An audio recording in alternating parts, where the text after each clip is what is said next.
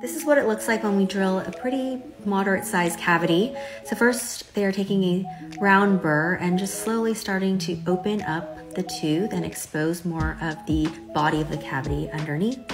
One of the fun things about being a dentist is seeing what's inside these cavities. Sometimes we see like spinach and food and we can guess what um, this patient has been eating. But in this case, I don't know what that blue stuff was. It almost looked like a rubber material. My best guess is that this patient got at some point an impression taken of their of their tooth by a dentist and that material is, is like a rubber PVS material that got stuck within the tooth. I guess we'll never know. But here they're just removing any unsupported enamel that is covering over um, and then they're gonna just start cleaning up this cavity from outside in, although this is a pretty deep cavity, hopefully no root